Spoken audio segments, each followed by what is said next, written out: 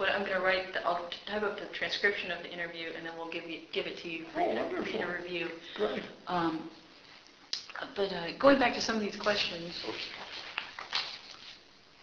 okay.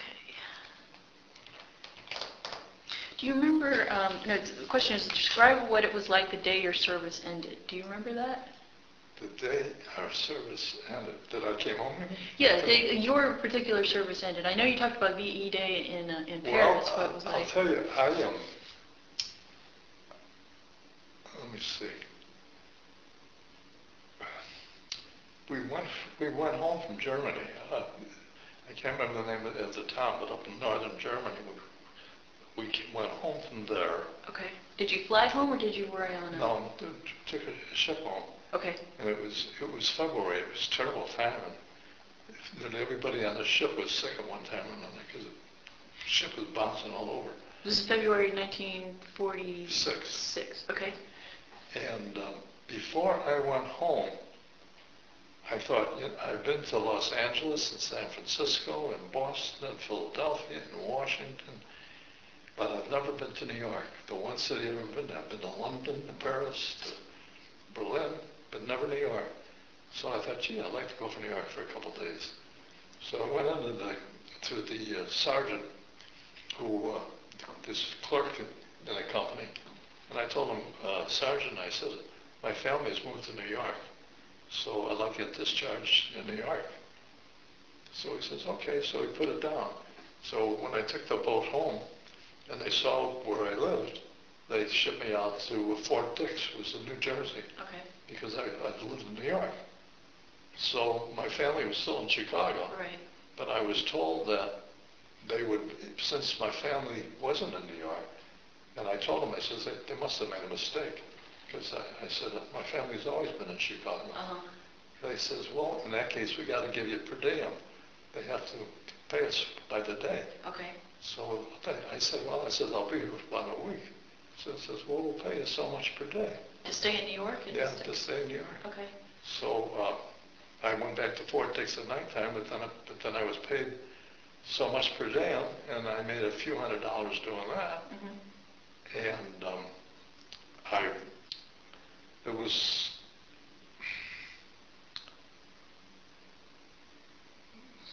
there was two musicians, musicians, a Charlie Parker and a Dizzy Gillespie. okay.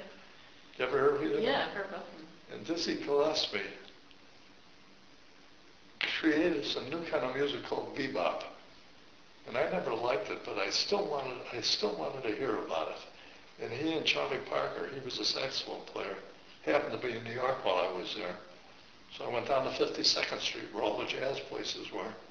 And I went to see Charlie Parker and um, Dizzy Gillespie. Really? And I did the second, and while I was in uh, New York, I called my folks up, and my dad said, you know, he says, your mother's, he says, your mother's birthday is a couple days from now. He says, can you come home? And I said, absolutely, I'll come home.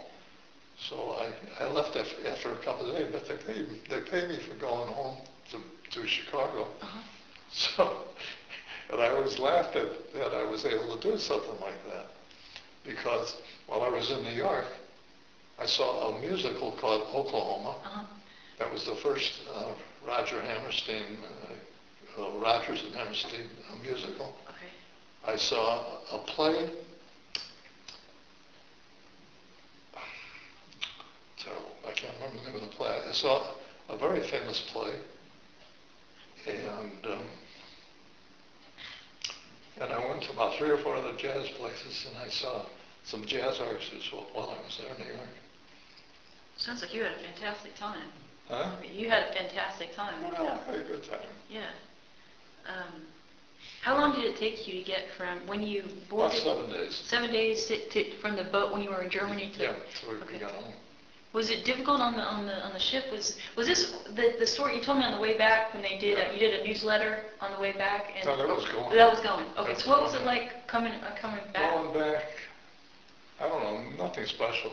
People were just sick because it was February and it was a small ship Okay. and, uh, Was, I would imagine, it was, was the water pretty choppy? I mean, was it? oh, it was terrible. It was terrible. and just about everybody got sick. And I, I remember I, I was goofing around once and they put me in KP. And, uh, That's kitchen, that's kitchen? yeah, uh, kitchen police. Okay. Oh, that's what KP. And, um, and I, I went in, went in and, uh, and I could smell the, the chickens. And because the ship was bouncing back and forth, I suddenly, I suddenly felt very funny. Yeah. And I just got out of the kitchen, and I says, I, I can't take this, and I went back out. And I went out to the outside of the ship, Sure. and that was the closest I got to being sick. But everybody else on the ship, it was just terrible how they were. I bet, yeah. um, It takes a while even to get your sea legs. and Oh, yeah, it was Yeah. just terrible. Huh.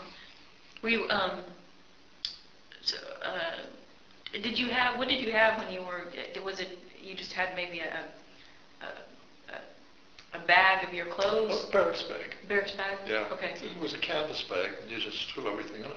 How big was that? Was it like, Well, it was a bag that would stand, would stand this high, you could stand it on its bottom, and stand about this high, and it's about this much around. okay, okay. Was you, and you just kind of lug it over your shoulder? Yeah, yeah. Yeah, okay. Um, And then basically, everyone was, uh, all the soldiers were, were allowed to have one canvas bag, or did you, did people have more than That's one? all you had, just one. Okay. Um, I wasn't sure, because you talked about having like a, you had purchased a, a radio. um, Oh, yeah. Some of them, But did I you? left, I left it there. Oh, did you leave I it? didn't take it home. Okay. Um, so when you got to, I know you got, you got back to, you went to New York, Yeah. then you got back to, uh, to Chicago in, in time for your, your mom's birthday? Is that? Yeah, yeah. How was that, when you, when they, you, you, the first time you'd seen your parents in quite some time, and Yeah. what was that Yeah, welcome? It was about a year and a half. And they were waiting for me on 63rd Street. There was, the elevated had a, a- had a station there. Okay, And the Illinois Central train came in uh, to that elevated station, and my my brother-in-law, who was, uh, got out before me, because he went in before me, my sister, my dad, and my mom were there. And they took me to a local restaurant for a, a bite to eat. really? And while I was there, there was a couple, of fellows I grew up with, and one of the fellows came over to say hello to me. And he was limping badly, and he, he almost got his leg knocked off. And, and that's what, what, this is the way it was. People were injured and hurt and so forth.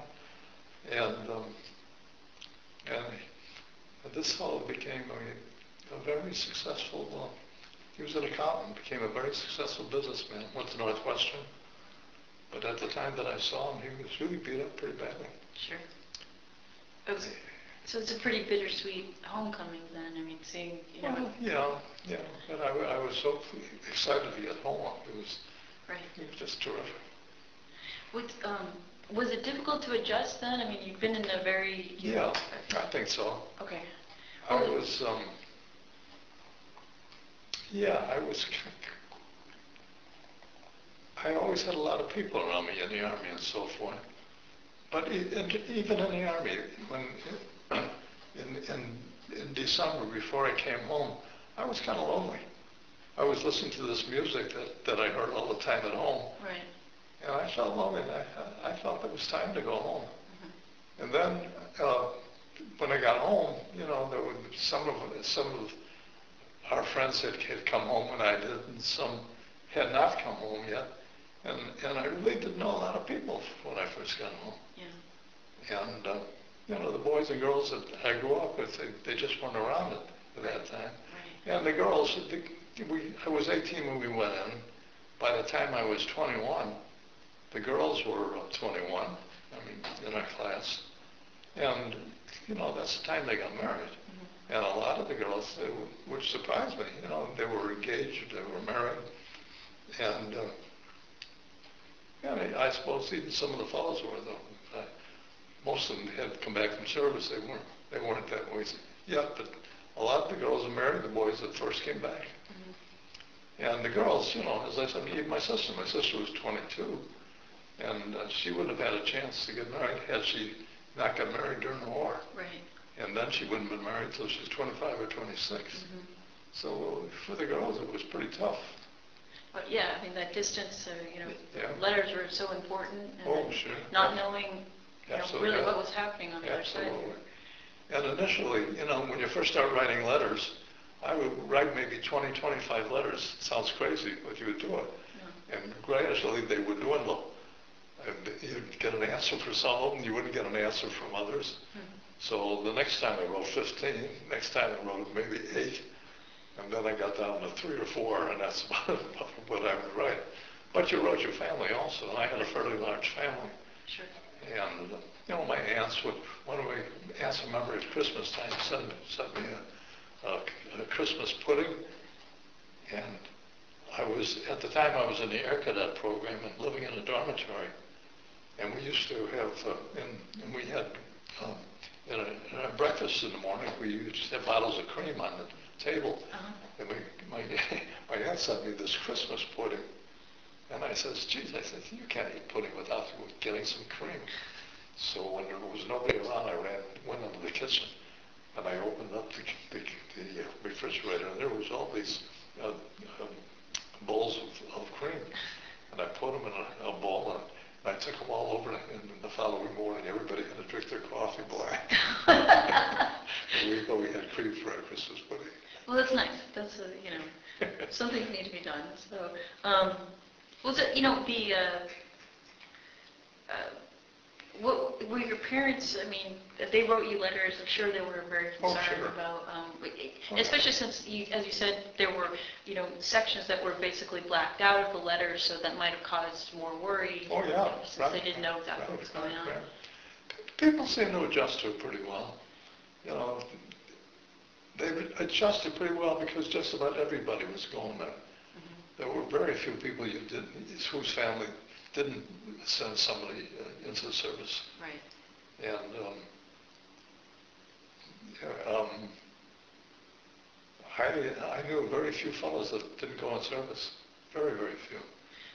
Did you talk, I know you didn't join any um, veterans. Oh, yeah, yeah, yeah. But The, the reason I didn't join is because what I understood is the, the wealthy people were taking over these outfits. Okay, And uh, in the American Legion, which was the biggest one of all, the people who were making an awful lot of money right after the war were the real estate people. Because people came, they back, came back from the service, so they were building a lot of small homes Mhm. in, uh, in Chicago and and all over the country. right. And these real estate people sort of took over the American Legion. And uh, what they were doing was selling homes to the, the, Oh. to the uh, people my age that were, or people a little bit older just got married. So they saw an opportunity, you know, all these Yeah, these guys so- together at one Right. place and they could, Right, so, so they, they, they were taking, uh, they were exploiting the Legion, and I didn't like that one bit. yeah. And then they had, as I- and as I told you, they had, they, somebody called me up who was Jewish and said, we're at the Jewish veterans thing, like, why don't you come over, Buster? And I said, hey, that's terrific. I says, I'll meet a lot of the people that I knew before the war. Yeah. So I went there, and there were a bunch of guys that were there, and they were passing around a petition to, to start this association. And I said, boy, this is terrific. So I got the petition, and I says, hey, you sign this. So they signed it. So then I took it, and I handed it to the next guy, and I wouldn't sign it, because I felt that, uh, as I think I told you, Yeah. uh, I was in service for three years, and we didn't say we were one religion or another religion, so why should we do it after the war? Right. you know. So I, I didn't join. There was an outfit called the American Veterans Group, and they were very idealistic people. And uh, they were the one group that I, I said I was going to join, but I never did. Why didn't you join them? I, uh, I, so I never joined any of veterans group. I just didn't, didn't think it was the right idea. Yeah. But the American Veterans was different. They, they were a bunch of uh, young people, and uh, they were interested, like in the GI Bill, making sure that uh, the fellows who were uh, going to college were able to get the GI Bill and get their money and so forth. Right. Was, it- you know, you you talked, well, there was, so the, there was a Jewish, um, you know, veterans group, there was a Catholic uh, veterans group. I wonder if any of those groups, even though they were, Joined together. if- or if they, you know, talk, communicated with each other, if one would speak at the, other, you know, Oh, oh, members the other sure. group Oh, would speak sure. at another group. There- there- There was nothing uh, discriminatory about it. Yeah, But it was just that, uh, you know, it's just like, you know, going to church.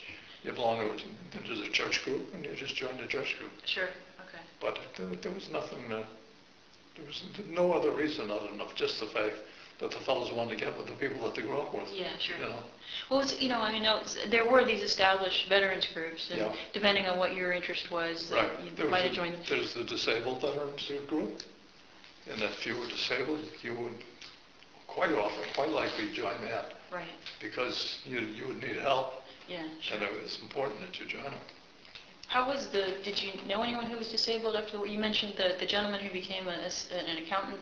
Yeah. Um, Oh, yeah. He, he obviously wasn't on disability, but uh, No. for those who, who were so um, disabled, you know, um, Yeah. uh, injured from the war, um, Yeah. how was the, uh, do you, do you know of how the, how much care they received from the government? How, how much they might have been helped at the time after the war? No, because fortunately I wasn't hurt, and I really was not around people who were dis- disabled. But even down at school, I, I don't remember hardly any uh, of the fellows in the jail that were injured. It was pretty hard, I guess, you know, if you were disabled when you came home, Yeah. it's not likely you're gonna go away to school, you might go in Chicago, Sure. that's about it. Yeah. Um, let's see.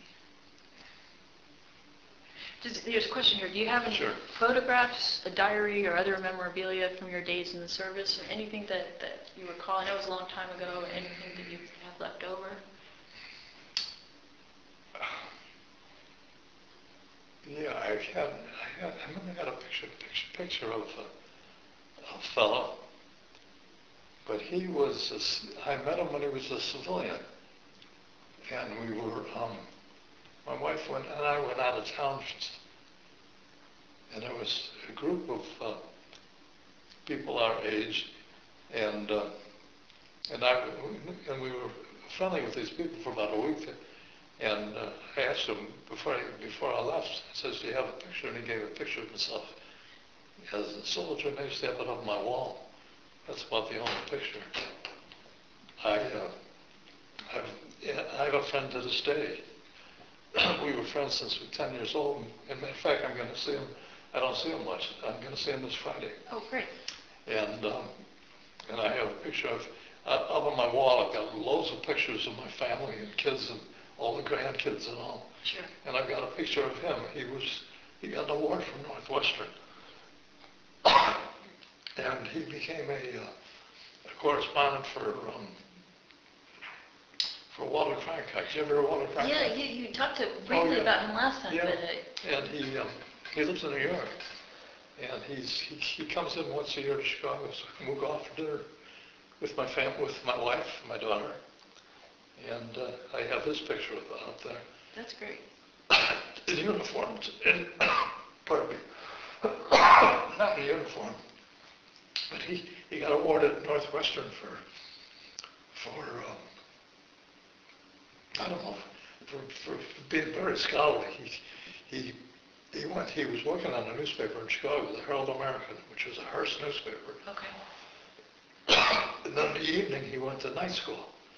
It took him about seven years to graduate. And then he went out and got a, a master's degree at nighttime. And then while he was in uh, Chicago, he uh, saw an advertisement, I guess, that Walter, Wa- uh, Cronkite was looking for somebody. So he, he went to New York, and he became the proofreader for all the copy on, on television. And, uh, and then he, Northwestern gave him an award for, for doing so well in college and doing it at nighttime, you know. Yeah. And his family, his family needed help, so he was, he had, a- he worked in the daytime so he could contribute to the family. You know, the working around the clock, I know uh, you did that when you, you, you started the newspaper, Oh, the, yeah. the the Niles Bugle, and, Oh, my gosh. yeah, That was, um, that was a, that was a seven-day-a-week job. And I often worked uh, from, from morning until 10, 11 o'clock. mhm, yeah. Was it difficult, I mean, just to figure out, I know there was a business reason, you know, that obviously there was, you, you saw an opportunity there, Yeah. but um, was it difficult to, to uh, focus what your, uh, your interest was going to be, you know, reporting on, on? I had no on- idea when I started. I just used to go to village board meetings. I think I told you before, zoning board, Right. school, school board, Sure. park board. Well, those are all the, the important, you know, Right, right. talking about community And news. then And then, and I began writing a column, a personal column. And then the first week, I, I wrote a column that some famous uh, journalists had written about being in the newspaper business. And I just told them, you know, well, we're going to uh, have a newspaper delivered to every home. We have about 9,000 homes in. And, um, you know, I gave them the reasons why we're, st- we're starting a paper. Right, And I thought it was important for the community to have a newspaper. sure. And that was the first column. And then a couple weeks later, I wrote another column. Then I began writing one every week. And the column was, was very good. I was, uh, I wrote about what I saw. If, if uh, any of the trustees or the, or the mayor or the police chief did, did something that I didn't think he should have done, I put it right in that column and I mentioned his name and all. Yeah, And the people loved it because they liked to hear about Sure. things like that. right. And they didn't love it. And they, and they, they, You mean the elected officials? Yeah. Uh, Yeah, they, th- that, that pushback, I wonder, um, you know, it must have continued, you know, throughout, because you sold the paper, what, in the late eight, 1980s? Is you that- know, mid nineties, but I, Oh, oh. I think it was, uh, I think it was twenty oh three, I, I Oh, oh, really? But 2000? my, my son was in the business. Oh, I see, okay, so, Yeah. okay, so he took it over, and, uh, And but and he- he's, he's a journalist overseas now. oh, is he really? Where, Yeah. where is he working? He, he works in the Middle East to the Far East. Wow, And he, um, what, what he does is, is he, he uh, hires people, he hires them mostly from India because they, because they can speak English. And they would um, write things for a computer, okay, and they would have computer news um, in the computer that went all over the, the Middle East and the Far East. really? Okay, And um, the people from India um, worked at a nominal salary. And he's, he's got about, uh, well, he's got about seven or eight countries that, are- that uh, buy the newspaper from him. okay, And what he does, he, he sells, he sells the paper to, uh, to, to somebody uh, in the country, and then the country, either the country itself would run the newspaper, would own the paper, okay, and uh, for the most part, uh, they had no idea how to, how to create a paper or so forth. mhm. And he's been over for about 10 years now. So he learned a lot, I mean, about the newspaper business. Oh, yeah. it- I know it's changed over the years, but he learned a lot from, you know, being at, at, at the Bugle and, Oh, absolutely, yeah, absolutely. And um, the one thing, quite, quite honestly, uh, I, I, I, I did a pretty good job. Um, There's 700 newspapers, I'm going to be bragging now, so watch out. Maybe you don't even write it down. Um, I, um, I wrote about the gambling in the community for, as I told you, for three Yeah, or four years. you talked about a little bit about And that. I, did I tell you that the fellow named Joey Aiello, No, we didn't, uh, um, there was a, fel- Al Capone was, was the number one criminal in the United States back in the 30s and the 40s. okay, And I happened to, not too long ago, a few years ago, I didn't even know who it was. There was a guy named Joey Aiello that was his right-hand man.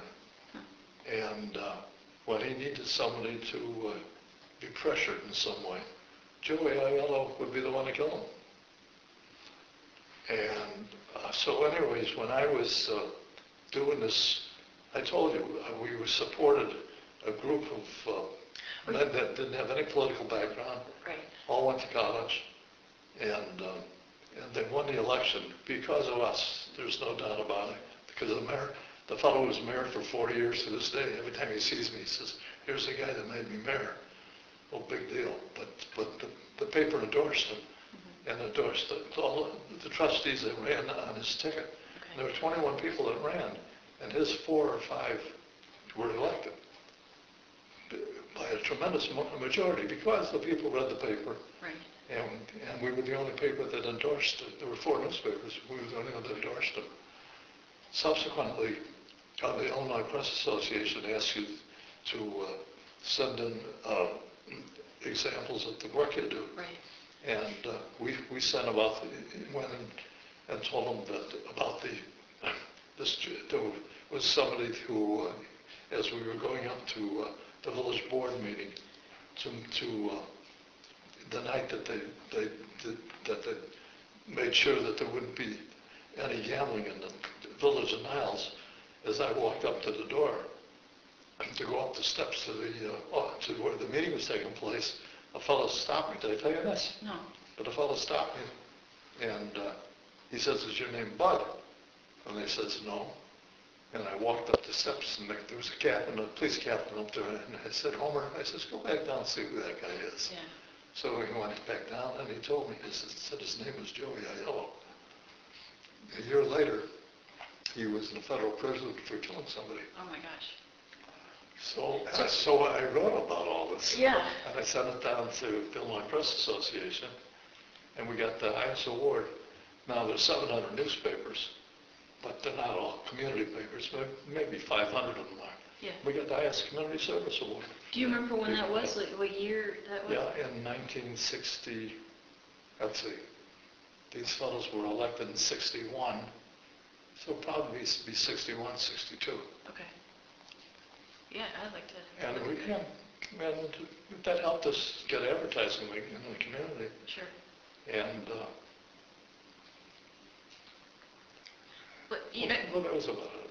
you had, you know, all these community newspapers, you know, Yeah. people coming back and they're, they're, they're building careers, they're, you know, they have families, you know, they're getting more involved in, in, in uh, local government, Yep. know, um, uh, so, did you have people kind of pulling on your arm saying, hey, do a story about this, hey, do a story about this, or, you know, let people whisper in your ear, hey, something's going on here in this section, you But we used to, we would go into the uh, police department every week and and go through the police reports, Okay, and it was incredible what we used to read about people we knew. yeah, You know, things that happened at home or something, you know. sure, The husband beats up his wife. yeah, He's a terrific guy outside, but you don't don't know what he's like on the inside. right, So we just, we got an awful lot of information, police reports. yeah.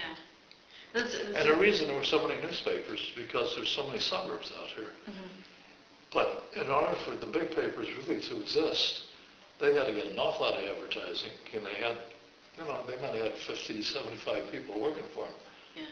Yeah, And, um, and to have this, they had to have several communities that their paper would be in. They, they couldn't do it just on one part with, with uh, one town. right, well, these, And and we just concentrated, we had four, three or four towns, but we concentrated on Niles. That Right. one- That was the one town that didn't have very good news from the other papers. well, they're so important, I mean, to, to look at the, what, what day would you get, you were once a week, It was a Thursday Thursday, Thursday? every Thursday. Okay.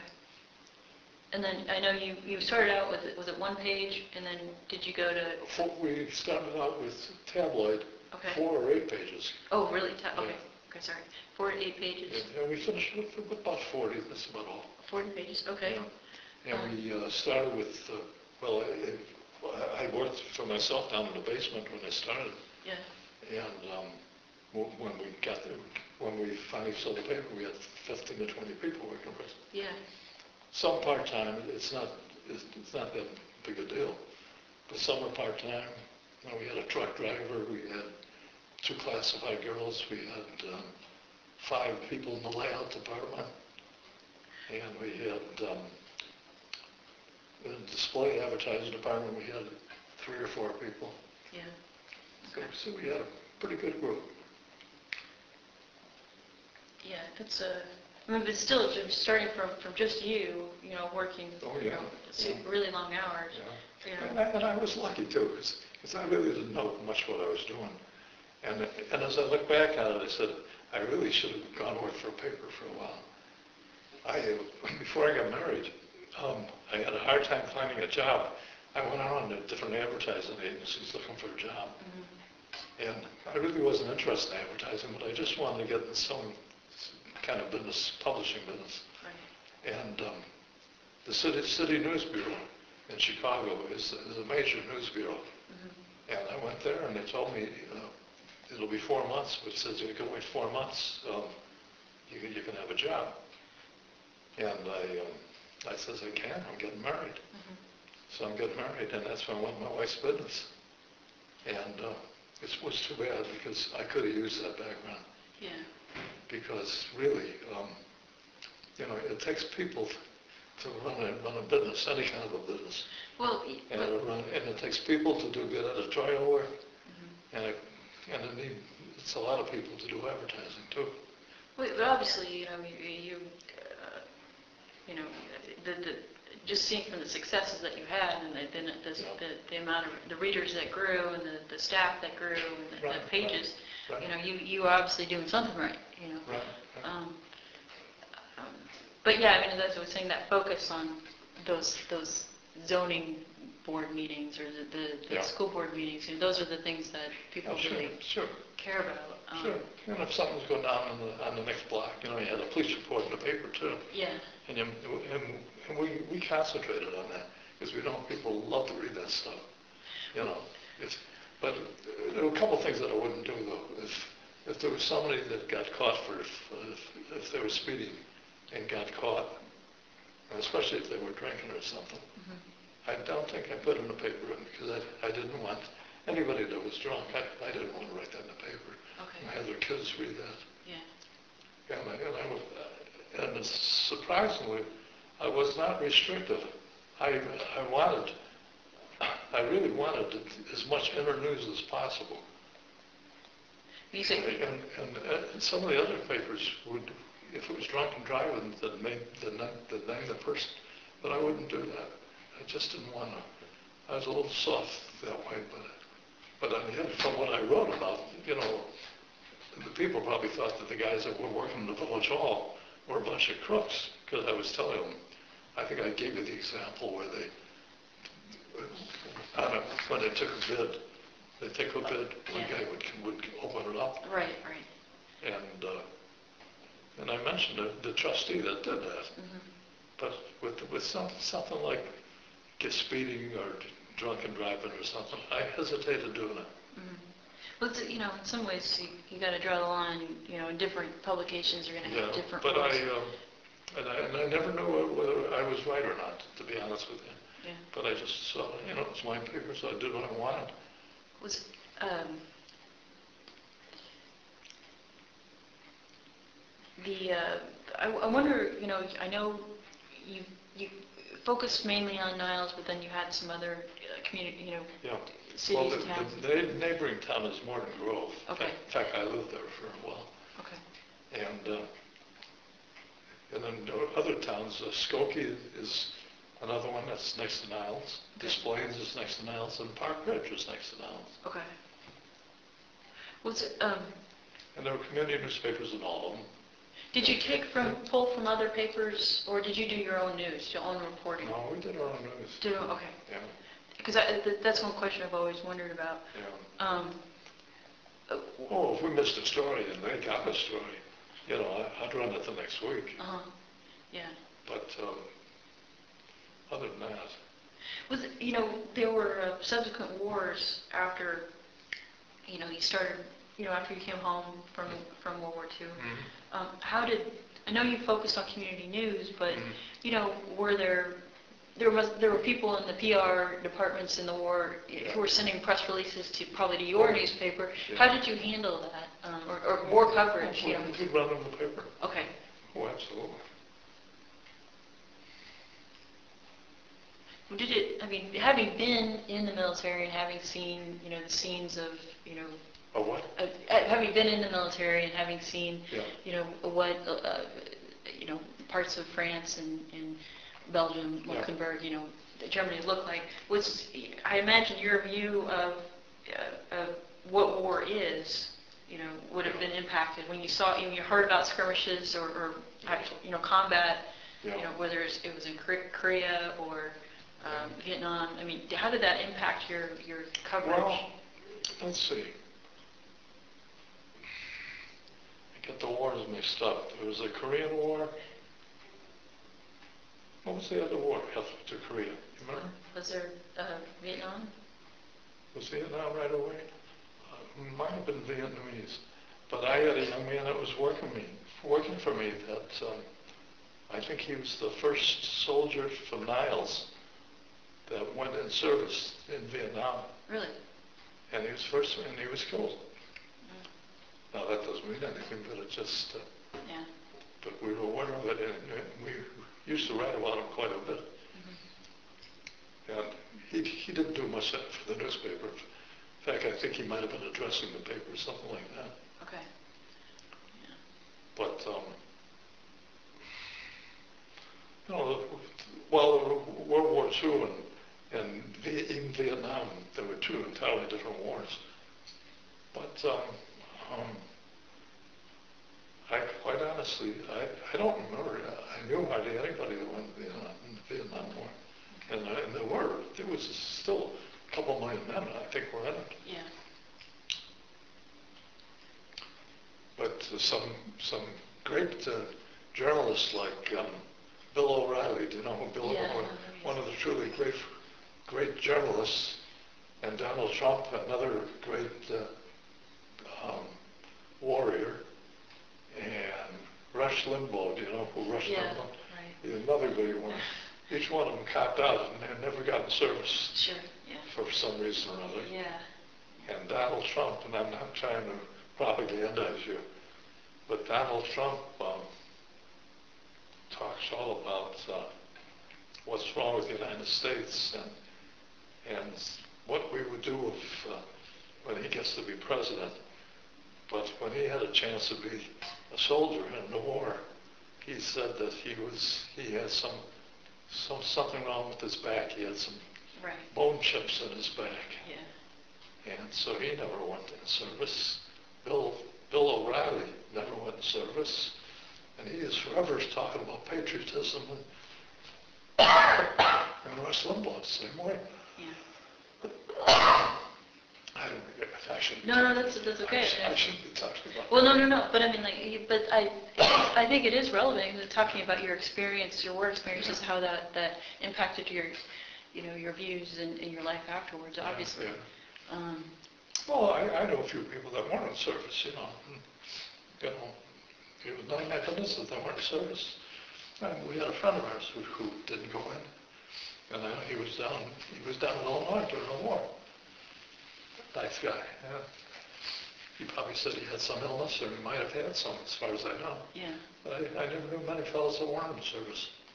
Was, did, you you know, did you talk about service with, uh, uh, with people who had been in the service Yeah. outside of these clubs that you didn't join, um, that you didn't become a member of? I mean, Well, s- I- I'm sure we did, you Yeah. know, we talked about some of you know, some of the crazy things I told you, you know, like, uh, um, oh, get, get, get losing my money in the, with the Barracks Bank. Oh, yeah, sure, sure. And um, there are a lot of crazy things. I, um, I think I've told you this story before. I, when I, I went in Paris, there was a famous guitarist who came from Belgium, very famous. And people know about guitarists are still there. I still know about him today. And he happened to be in this club in Paris. I, I don't think I told you before. You, you meant, there- you mentioned Maybe it. I mentioned it. Yeah, But I went down to see him. And, uh, and there was a, a notice on the door that American soldiers were not allowed to go in there. And uh, I, I decided I wanted to see him. And they told me, and when I went in, they told me that, they said, the, the mili- military police come in, and they'll be looking for you. right. And so I tell you, what, I says, well, where's the, where the band gonna be? And they said, they'll be over there. I says, well, I'll sit in back. And I did. I mean, you know, they got the crazy stories, but those are stories you told. Yeah, And uh, the MPs came in, and they didn't see me or didn't care to see me, and they went back out again. I mean, those kind of stories you, you told, you know. sure, yeah. um, Let's see here, I'm trying to, I went into one, one French, into one French place, I remember, a bar, I think I might have told you this. And I was sitting at the bar, I think I said something about, do you have any bourbon? no, you didn't tell me that story, no, Oh, no, Do you have any bourbon? And they started laughing at me, because during the war, they don't have any bourbon. What did they have? Is it- was Well, it well, In the- France, well, maybe the some French wine? The French drink, uh, Right. brandy. Okay, Yeah. What's, what's the name of brandy? Was it like Armagnac, or did they have, uh, Yeah, like, uh, there's another word, I can't remember the name of it. uh, Calvados? Calvados too, Okay, yeah. And when I, when I went up to the bar, and they started laughing at me, said bourbon. But then the people in, that were sitting standing at the bar, I noticed it, was, it isn't what they were exactly hostile, but they were very unfriendly to me. I mean, I couldn't talk to any of them, Yeah, and, th- and then, uh, And I, and I didn't stay, I went for about 15 minutes and wanted to walk out. Right. Because I heard of, an awful lot of the French were friendly with the Germans during the war. Mhm. And they might have been uh, just hostile to, to the Americans that were there. Right, right. And when, when they acted that way, I realized that, you know, they had a feeling that, uh, that this, that, that they were no friend of ours. Yeah, um, No, I'm sure that was a rarity, that didn't happen often. But, and those are the kind of stories they told. yeah, sure, you know. sure.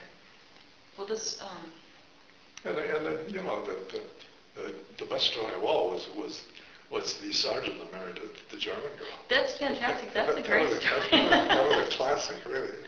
Did you, I mean, you, so you had introduced the sergeant to this woman, and then you didn't see him again until, basically until you were, you know, Yeah, how maybe four or five years later. Okay, in Champaign, wow. Yeah, yeah. Yeah, just saw him there.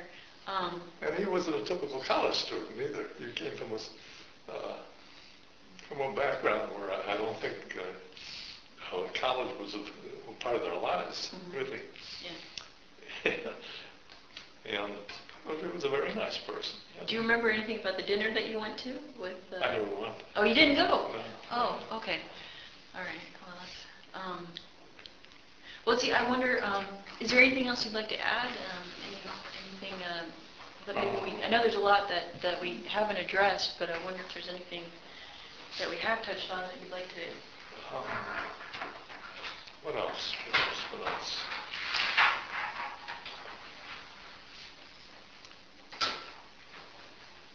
Um, let me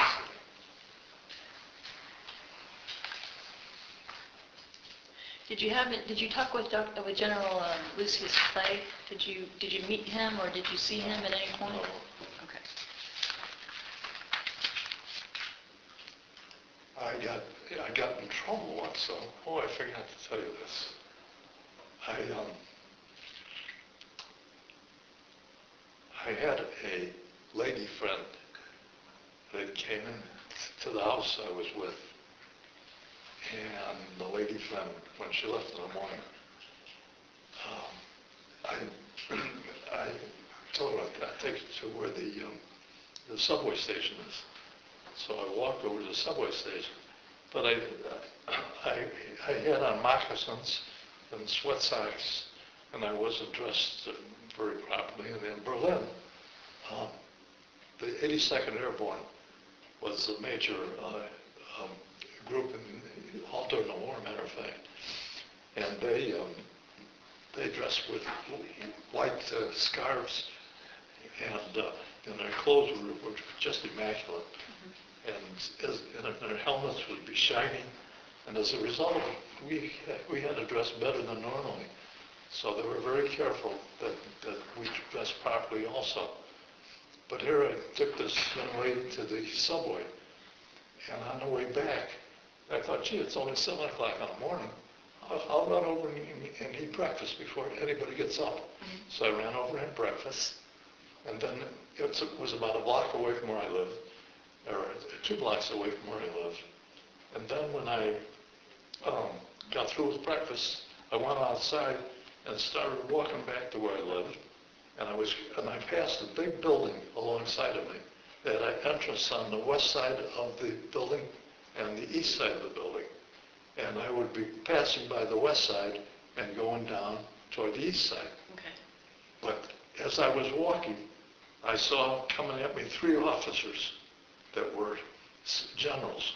Oh, And uh, as you'll find in a minute, um, I jumped, I went into the first entrance of the building, and then I walked the length of the building inside. And then when I walked out, I figured they'd be at the other end of the building. right, So then I'd go home. right. And I was right. Two of the three walked all the way to the other end of the building, and one waited at the door for me. So I got out. So I got out, and he- he says, "Are you the- you're the soldier that went in at that door, weren't you? And I said, yeah. So he says, well, you're out of uniform, you've got moccasins on, sweat socks on, what kind of an outfit is that? And I said, well, it was early in the morning, I didn't think anybody would be up. He says, you know who that little soldier is down there? And I says, no, who is it? And he says, that's General Lucius Clay. He was in charge of all of Europe. Oh, my gosh. Now, because, I think I told you, it was like anarchy there, because, because they, they didn't know what they were doing, nobody, nobody had worked in an office before. But, uh, when I, when I, uh, was there in the morning, sometimes we, we would, we would get out, but we would just stand at attention for about five minutes, and then we would leave for the day. But this time, there were about, I don't know, 25,000 American soldiers in Berlin at the time. And somebody read to me that as of Monday morning, all soldiers in Berlin will get up up at at 6:30 in the morning and march for 30 minutes. Hmm. So because of this soldier that you're looking at, Okay. Every soldier in Berlin had a march for 30 minutes. Oh, my gosh. Because, because of, because of me, they, they mentioned Oh. some, some goofy guy Yeah. goofed up and didn't do what he was supposed to do. And so, all of, so all of the soldiers, said, I never said a word to anybody but the, the fact that they knew it was me. Wow, yeah, that's, I might not have lived. that's so sorry, yeah. I- But are kind of, silly kind of stories. Yeah, right, right. You know, the, the stories that were, you know, much more serious, you didn't, you didn't mention them. Mhm. Yeah, really- really did not too much. right. Um, We used to, you're looking at somebody that's been silly in his lifetime, and still, still is. We used to uh, march through a town in France. And as you, we would march through the town, we would yell out at the people.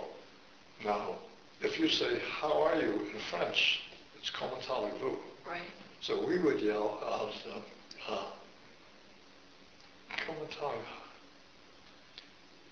Uh, We would say something that phonetically sounds like comment allez-vous. okay. And we would say, let's hear about how your mule is, or something like that. How's your mule? Yeah, I've got French people that were Right. standing there. Right. And we yell at them and say, go walk down the street. They didn't know we were goofing around. They would shake their heads and say, Yeah. these stupid, these stupid American soldiers. And we, those are the silly stories we used to tell.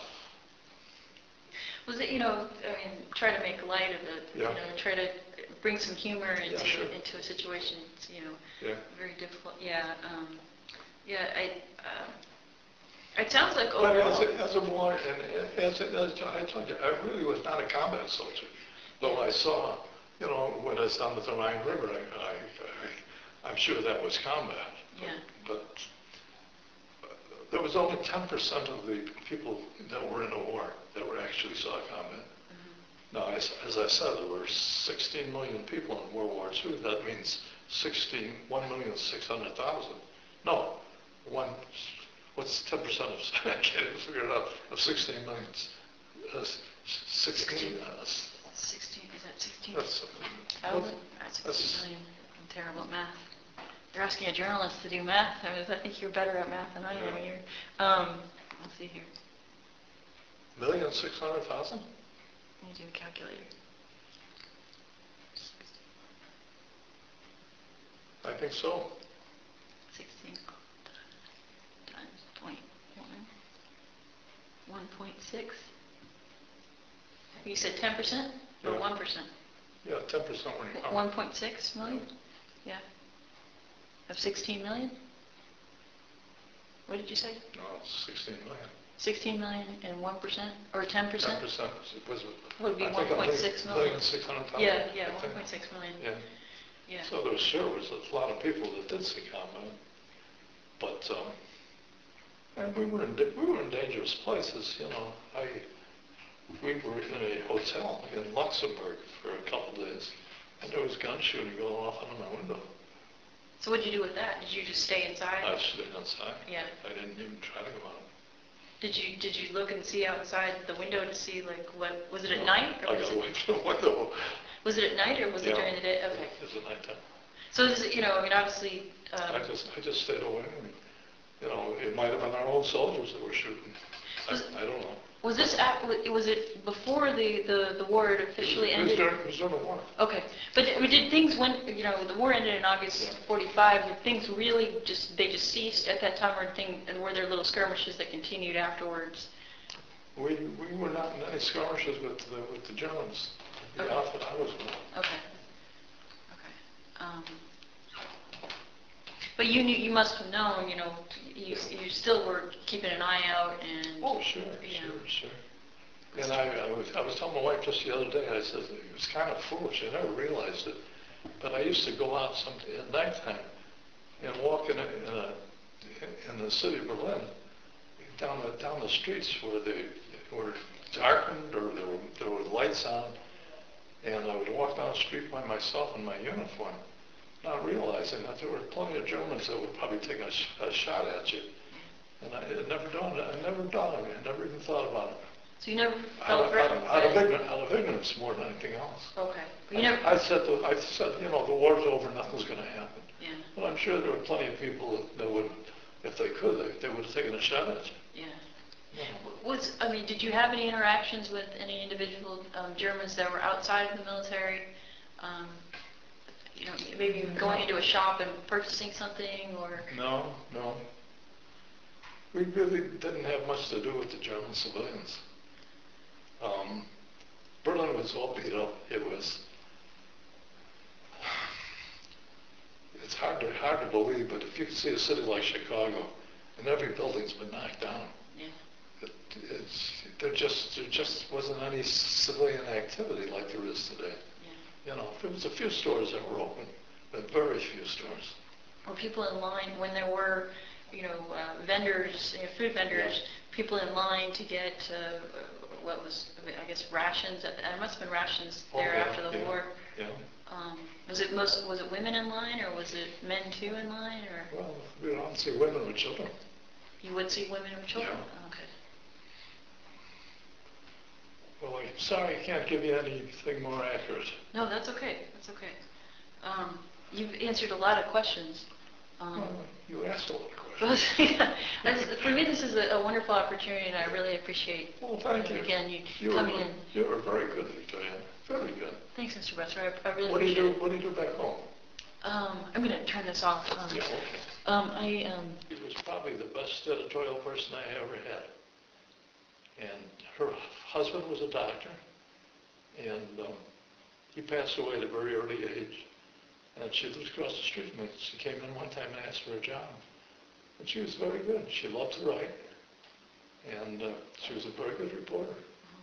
As opposed to, I had a girl that worked for me that went to the University of Missouri, and that's, they have a very fine journalism school, I've been right, told. yeah. Yeah. And she was the worst journalist I ever had. Oh, really? She wouldn't write details, she, and she would be writing about a budget or something, and say this, this organization went over a million dollars, but she never ever mentioned about what their budget was prior to that. Oh, really? Okay. And I couldn't believe it. And a couple times I told her that, and she thought I was crazy. Uh, She says, well, she says, that's not what the story is, and it sure is. Yeah, I says, you have to know the background as well as Right. you're writing, right, sure. you know. And she, and she, uh, you know, she graduated from Missouri's journalism school. This, yeah, that attention to detail, I think, is so important, and knowing, you know, kind Oh, of yeah. asking the questions before, current, and then afterwards, you know, to see that, that Absol- change. Absolutely. Yeah. Are you and I through? Yeah, Oh, yeah, it's- it's- yeah, it's been, it's been long. Listen, Victoria, thank you. Thank you, no, thank you It's so much. really, uh, Nice of you to ask me to do this. I'm not quite, I don't quite understand what, what's the relationship with uh, this Pritzker uh, military, do you know?